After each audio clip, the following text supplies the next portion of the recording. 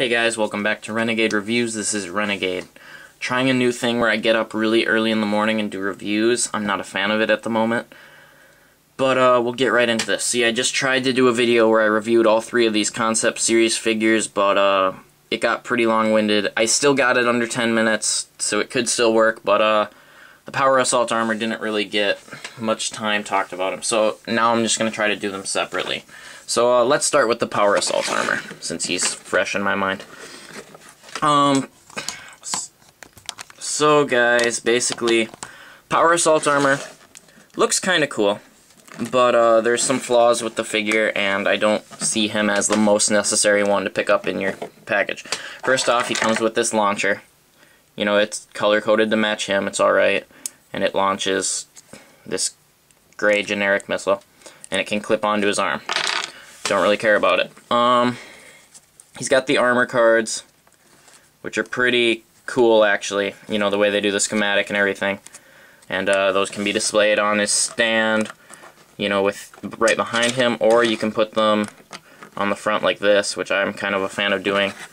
And then you stick him there, and it's like uh, the schematics are being pulled up on him, you know. So, you know, and then you can mix and match these, you know, everybody knows about the armor cards. So those are cool. And then the stand is a generic gray with one peg and the place to hold the cards and then no name, like the review spot is pointed out, even though they could have done one. I don't mind too much because it allows me to just kind of mix and match. But getting right into the figure. Um, Power Assault Armor. He looks cool. He's decent. Um, the thing about him for me is just he doesn't seem as good of a figure as some of the others. I can't really put my finger on why, because he doesn't lack too much articulation, although his legs aren't good, but we'll do the articulation now. Um, the head can't turn farther than this, which, let's be practical, it doesn't need to, but it can't turn all the way around because it gets stopped by those things.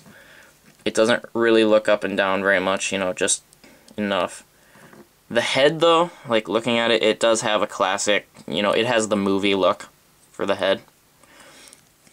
Um, the shoulders have these shoulder pads on it, but you can rotate them all the way around.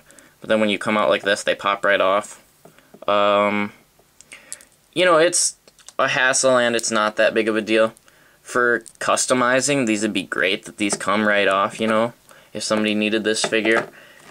Um, and they allow it to be freed up pretty easy. The thing is, like, they could have just built them on like they did with other figures, and I don't think it would have been a problem. Uh, bends at the elbow to there, rotates all the way around.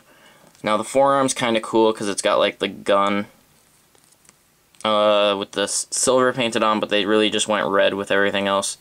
But it's uh, it looks pretty cool. You can tell that it's like a gun on the bottom of his arm. Uh, wrist rotates all the way around. And then that's on both sides. You can see that and then he's got two blasting hands, so he's he's pretty equipped. Um, and this is the armor that was made for high heat, high impact places. Rotates all the way around at the torso, comes down, comes up, comes out with the leg, and will rotate around, but it's such a hassle that to save times I'm not going to show you guys. But, uh, well, actually, I'll just yeah, the legs are the worst part of this figure. They're so hard to move. Yeah, mine's not going to go right now. Um, double jointed knee. Leg comes back. Leg comes forward. And rotates around to there and there. Because the shins stop it. So really, this guy's missing a bit of articulation. He's got shoulder pads that come off. And, uh, but all around, he's not a bad-looking figure. You know, he's different enough that he can fit in an armory okay. While at the same time, it's, you know... While at the same time, he, you can tell he's an Iron Man figure. Which, like, when the armors start getting too obscure that uh, you can't tell it's Iron Man, then I'm going to start having a problem with. Just to show you quick, this is the Inferno Mission armor. As you can see, it's the same figure with a silver paint to it and I think maybe a lighter red. But as far as I know, there's no difference to the figures. I don't intend on picking this one up. And uh, let me know if there is more difference, and I will link to a video of somebody else's review or something like that. But, um, yeah, guys, this it's a decent figure. It looks good. If you want to build an armory, yeah, he'll look good in there, and he can stand just fine. You know, once you get the legs set, there's no problems. Um, but if you're looking for like a posable Iron Man or somebody that well represents Iron Man in your armory, he's not the most necessary one to have. And like really for when you're gonna use him for heat, you know, heat uh, environments. Like I thought about having, I thought about originally when I was doing Boog Nice's entry, I was going to have a bunch of Avengers and stuff coming to help get Nightcrawler from Hell, mm-hmm. and I was going to use this armor just because it was a high heat place and stuff. But then I cut it back to just the X Men because that seemed more likely. But uh, I'll give you the 360 of them while I'm rambling. But yeah, I decided not to use him, and really I don't know when I'll be busting him out for his primary use again. But he does look good in an armory, so I'm kicking the tripod. Sorry about that, guys.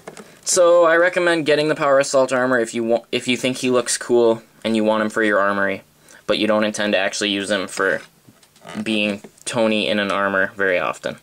Uh, that's all I've got to say, guys. Renegade Reviews, signing off.